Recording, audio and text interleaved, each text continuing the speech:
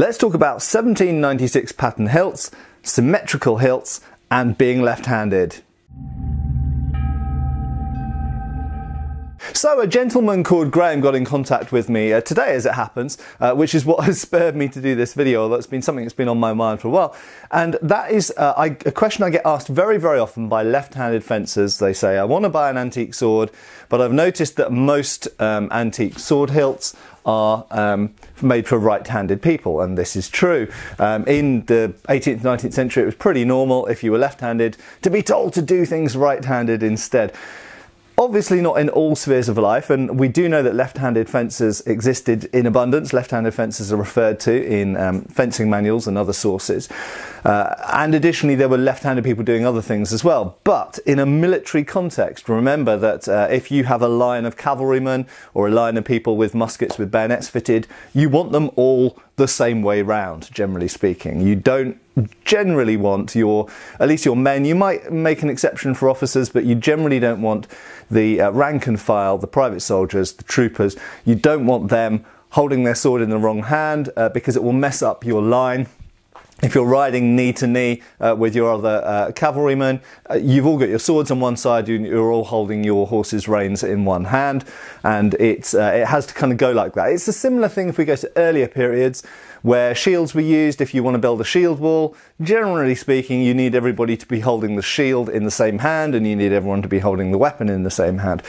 There may possibly have at various points been experiments with having left handed people on the other end of the line to sort of close off the end of the shield line. This is all supposition. We don't really know. I've never seen any sources talking about that at all.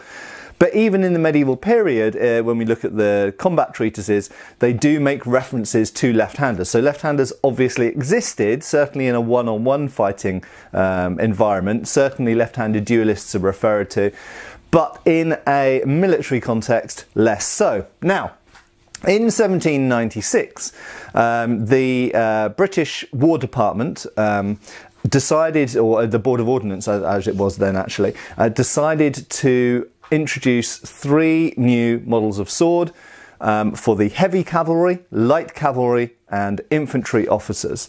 Um, now, uh, let's just very briefly talk about the difference between heavy cavalry and light cavalry. So, generally speaking, heavy cavalry were um, supposedly originally riding bigger, heavier horses, and originally a lot of heavy cavalry were cuirassiers. They had a, a breastplate and a helmet, if we go back to the English Civil War period.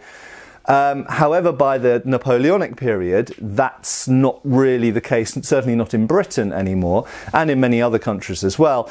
And in fact, the difference between heavy and light cavalry had really kind of um, become more of how they were uh, tactically deployed or how they tended to be deployed on the battlefield. And the tendency on paper, although this wasn't always a reality, was that heavy cavalry was supposed to deliver that shock charge um, often into enemy infantry, and light cavalry was supposed to scout around, attack the flanks, attack the artillery, do all this kind of stuff. So, generally speaking, uh, the idea, if not the reality, the idea was that light cavalry was supposed to be faster moving, more mobile, less likely to get into a uh, sort of duking it out in a melee, hit and run kind of troops. But there was also a fashion and a stylistic difference between the two. Light cavalry were based on um, Central and Eastern European hussars and other types of um, light cavalry. So they tended to be armed with, certainly by the Napoleonic period, well, from 1796, uh, 1788 onwards, they tended to be armed with um, sabres. Um, for numerous reasons, and we could go into the kind of mechanical why is a sabre better for light cavalry and all this kind of stuff. But actually, in terms of Britain and the 1796 uh, pattern specifically, really it's because of Austro Hungarian, perhaps even sort of Polish and, and other Eastern European influence. Um, so, and you can even bring influence in there as well from people like the Mamluks and the Egyptian campaign, all this kind of stuff. So, there was an idea that light cavalry were modelled on this sort of uh, Central and Eastern European and perhaps even uh, kind of Oriental and North African uh, influences. And so they were given sabres because they were seen as curved swords, were seen as something that came from somewhere else. Whereas the heavy cavalry were more traditionally European uh, in origin and kind of traced their way back all the way back to the 16th and 17th centuries, and ultimately you could say knights, uh, but really certainly in Britain, if you look at uh, Cromwell's um, Cromwell's heavy cavalry, uh, Cromwell's cavalry, that's kind of the root of where we get uh, the later Napoleonic era heavy cavalry from. Um, and so they're given swords which actually functionally are very similar to some 17th century swords, things like Walloon uh, hilted swords and uh, mortuary hilted swords, basket hilt, stuff like this, with a more protective hilt and a straight, in this case, essentially backsword blade. Um, and then, not to forget, in the same year, in 1796, infantry officers got a new sword as well. And really, this was more about creating a regulation pattern because what had gone before in Britain was kind of a bit random. Infantry officers were all using different types of swords, and so they introduced the famous, as I've spoken about many times on my channel, not always positively, the 1796 pattern um, Spadroon. Now, as I mentioned at the start of the video, one thing to note about these three 1796 pattern hilts for light cavalry, okay, um, and for infantry officers, and for heavy cavalry is that they are all symmetrical. They're all symmetrical hilts. And so that has the nice um, feature that modern people who are left-handed and want to be using a sword in their left hand, it makes no difference because these are symmetrical hilts. Now, are symmetrical hilts good or bad? Well, so in one sense they're bad. In an only one sense they're bad. They're more difficult to wear okay? So that's and, and that's not always true um, because in the case of the 1796 light cavalry sabre or sword it has a very flat hilt and so it's very easy to wear because you've only got a simple knuckle bow okay? But anything that projects out sideways, if you have as much projecting on the left hand side as you do on the right hand side, then it's going to conflict with the body somewhat. And you do get versions of this uh, 1796 Spadroon which have a folding inner guard for that reason uh, to make it more comfortable to wear. Um, and in fact, you do also find versions of the 1796 Heavy Cavalry which have been modified and had the inner edge cut off to make them more comfortable to wear. Now, it's not only about comfort, it's also about wear on the uniform, uh, particularly in the case of an officer. Um, officers are responsible for buying their own uniforms and the maintenance of their own uniforms, so if they get damaged, they have to pay for it. And in the case of the rank and file, um, obviously the men's uniforms are provided by the government. So the government don't want the men's uniforms constantly getting worn out and having to be replaced. Um, so therefore, if they can introduce swords which wear the men's uniforms less and um, uh, cause less damage, then they're in favour of that. So that's a sort of economical and practical point of view. From a, a sort of fighting point of view, um, if we look at a sword like the uh, French 1822 behind me, which has the asymmetrical hilt, um, it also you could say well you don't need that much protection on the inner line um, because most of your hand for a right-handed person projects on the right-hand side, so that's where the um, protection is. However, there is some big disadvantage to having an asymmetrical hilt, and in fact, several 19th century um, authors, writers on the subject talk about this and criticize these types of hilts that are asymmetrical, particularly if they're very asymmetrical. Some hilts, uh, like the Royal Engineers um, officer's hilt, for example, is a bit asymmetrical, but it's not very asymmetrical. And the main reason is this, although there are two main reasons, but the main reason is to do with balance. If we have a lot lot of hilt projecting on one side, the tendency is for gravity to have an effect and inertia as well to have an effect when you're moving the sword around to want to twist the sword that way, such that the uh, overly or the, the heavier side of the hilt wants to point downwards. This can have the effect of messing up cuts. Now, I have to be honest here. Um, I have noticed this effect with some hilts, but equally there are some swords which look to have asymmetrical hilts that you don't have that problem with. And whether it's a big problem or not is actually dependent on various other factors like is it a curved blade, is it a straight blade, where does the point of balance lie, um, also uh, the grip, is the grip very round or is the grip quite flat? So actually there are lots of other factors which have an impact on this as well.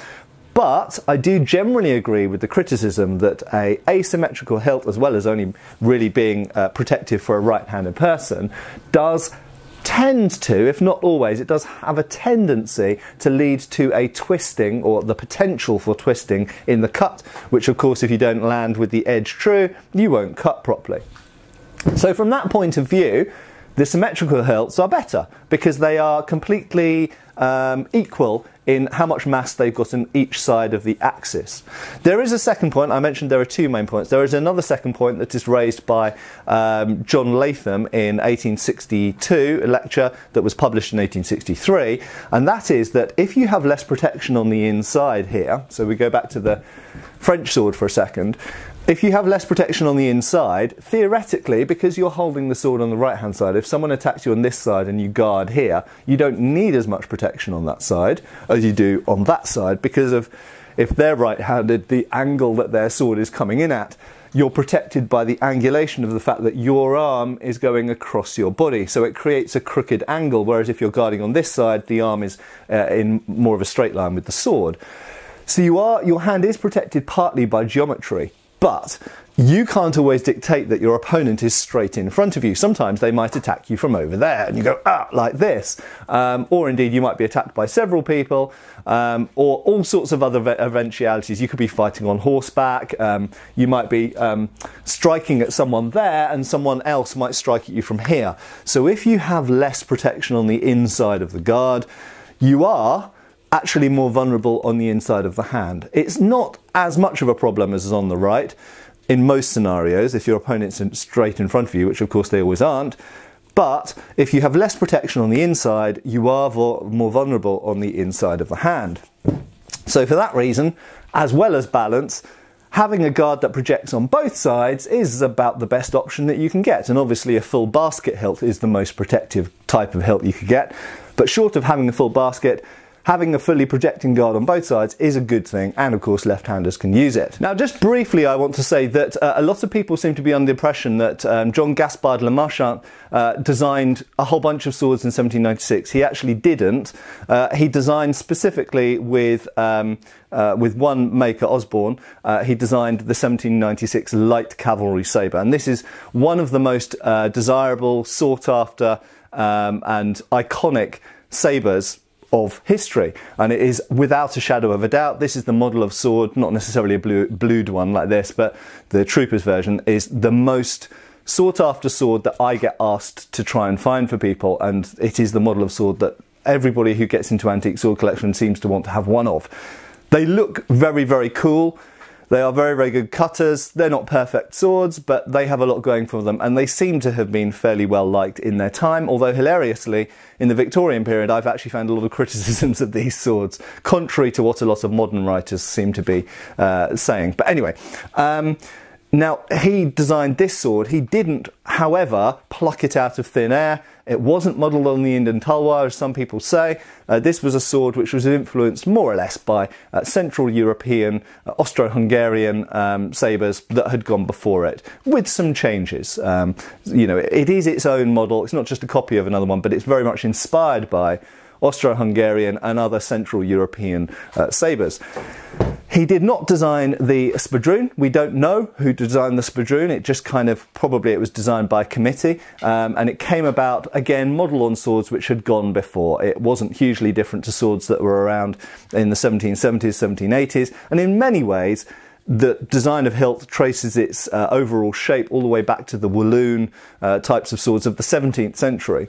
Um, now, uh, finally, the heavy cavalry sword that was brought into Britain, this was actually modelled on the earlier uh, 1769, I believe it is, yes, 1769 pattern Austrian or Austro-Hungarian palash, as they call it. So what's a palash? It's essentially it's a large cut and thrust um, heavy cavalry sword, but we could call it a backsword. Um, and this is just modelled essentially on the earlier Austrian um, Palash.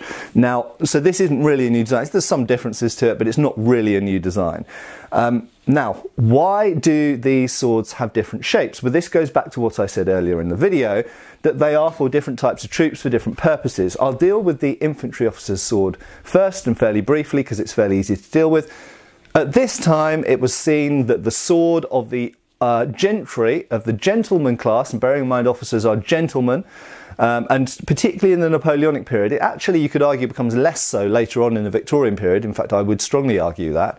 Um, but in the Georgian period, officers were very much seen as there to inspire and lead men. They weren't really there to do fighting. Okay, um, and uh, the, during the Napoleonic period, that did change a bit, and we see new models of sword being used by officers. The 1803 pattern saber coming in, probably because they were finding they were actually doing some fighting and they wanted other types of sword. Uh, but in the 18th century, the sword was seen very much as a symbol and an emblem of the um, gentry, of the gentleman class. Not to say that it's a useless sword or anything like that. I'm not implying it's only a uh, kind of wand for them to wave or anything like this. But fundamentally, this is based on uh, the uh, earlier Walloon uh, combined perhaps with the small sword hilt. So the small sword and then its relative or cousin, the so-called shearing sword or spadroon as it was often referred to. Um, and so this was seen very much as a gentleman's weapon. That wasn't to say that spadroons were only used by gentlemen they were used by ruffians as well and pimps like McBain. uh, but nevertheless this is very much seen as a gentlemanly thing. And if you look at the guard this tells you somewhat about how they were predominantly intended to be used.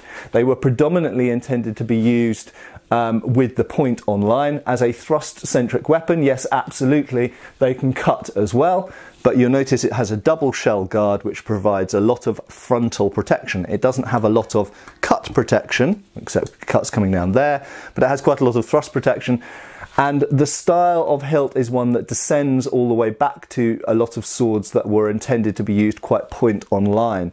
Um, so that tells you something about the way, the kind of fencing that was used with these swords and also the way that these uh, swords were seen not quite as dueling weapons, but related to some dueling weapons and um, like small swords, and with related hilt styles for cultural, social, and fencing reasons.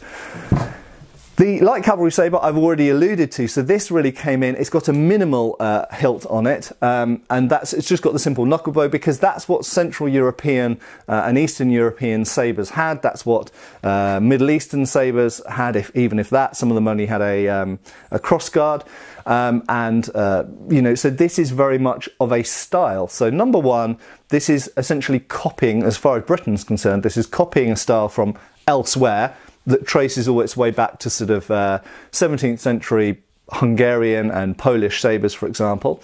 Um, so but the theory of why, certainly in the uh, 18th century or late 18th, 1796 uh, in Britain, why this didn't need a more protective hilt, the theory, I guess, would have been that light cavalry's job isn't necessarily to get in and duke it out with infantry or whoever, it's to hit and run.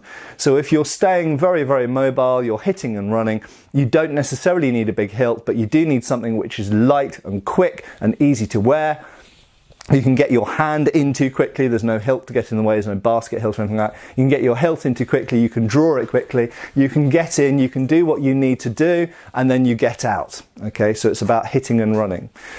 Whereas, although there are cultural things in there, as I say, and it's the fact that they're copying the style of the hussars, and that's an earlier style. But anyway, um, and then finally we get into this style of hilt, which in its own time is described as a kind of basket hilt. Now, it's not a basket hilt like on a Highland broadsword, like we'd think, which was still being used at this time by Highland um, officers, um, and, and um, it's it's not that type of basket hilt because it doesn't have the sidebars. But if you actually just imagine it does have sidebars on it for a minute, so a bar coming down here and a bar coming down there, it becomes actually very similar to some 17th century swords that were being used in Britain. Uh, the, again, the Walloon hilts, the mortuary hilts, various types of basket hilts. So it is a very protective hilt, just with the sidebars removed. Why are the sidebars removed? Well, Again, this is a copy of the Austrian uh, uh, 1769. Uh, uh, why did the Austrian one not have any sidebars? Well, it's to do with convenience partly. It's how quickly and easily you can get your hand in. It's to do with weight. It's to do with various mobility and of being able to um, extend the sword out. Um, the sidebars can get in the way of that. So, um, basically, this is a, a, style of hilt that's kind of a descendant of the earlier 17th century heavy cavalry swords that had a more complete basket. Uh, and the heavy cavalry are, at least on paper, if not in reality, more likely to get into, to plough into enemy infantry and, and duke it out and get into heavy close in fighting and being less mobile. Um, they had kind of certainly uh, in some cases, they had m- more equipment, heavier equipment, this kind of stuff. So the perception, even if it wasn't the reality, the perception was that they were they were more heavily equipped and they were in there to plough in and get stuck in. So, three very different hilts, but I want to reiterate that they are all symmetrical. Uh, they're not all designed by the same person, but I think it's very interesting that later, more protective hilts, uh, in some cases, um, went away from that symmetry uh, and even uh, when we get into the 1821 patterns, even with the heavy cavalry um, sword, even though it does project on both sides, it projects more on the right hand side than the left hand side. And we do eventually get back to symmetrical hilts again when we get back into the 1864 and 1885 patterns and 1890 patterns, uh, but that's many, many decades later. And during that time, there was criticism although this is a French sword, there was criticism of these asymmetrical hilts. Not just in Britain, there was criticism in France and elsewhere. Uh, Colonel Marey-Monge criticises asymmetrical hilts. John Latham of Wilkinson Sword criticises asymmetrical hilts. And uh, in some cases, and I'll look at these in future videos, and in fact, I'm writing an article at the moment about them. In the Victorian period, some officers who had the choice to order their sword how they wanted did order symmetrical hilts for this very reason, partly for protection um, a lot for balance and symmetry. Um, so I hope this has been an interesting and useful video. Uh, if you are left-hander, look at the 1796 patterns because they're all symmetrical. There are some other symmetrical patterns of swords. Some of that's an Austrian sword behind me there. That's symmetrical. So a lot of the Swiss and Austrian, and in some cases Prussian or German um, hilts are symmetrical. French swords uh, are mostly not symmetrical, unfortunately, um, although the 1829 um, mounted artillery one is because it's a simple knuckle bow. Anything with a simple knuckle bow, anything with a double shell, anything with uh, a disc guard like that, and some of the um, more traditional saber guards, cutlasses are also symmetrical as well, uh, for the most part. Uh, not French ones again, but British cutlasses are uh, symmetrical. So there are symmetrical sword hilts out there. Were they used left handed in the period? Probably not very often, but probably sometimes. There were left handed swordsmen, certainly in the case of officers. I have seen left handed hilts in photographs. I've never seen one in person. They are very, very rare, unfortunately. Uh, but yeah, the 1796 patterns, that's why there were, of those three swords, that's why they have three distinct hilt types, but they are all symmetrical. And I find that kind of interesting. Give us a like and make sure you uh, hit the subscribe button down there in the corner. And uh, thank you for watching. I'll see you really soon again for another video on Schola Gladiatoria channel. Cheers, folks! Thanks for watching. We've got extra videos on Patreon. Please give our Facebook a like and subscribe if you haven't already. Cheers, folks.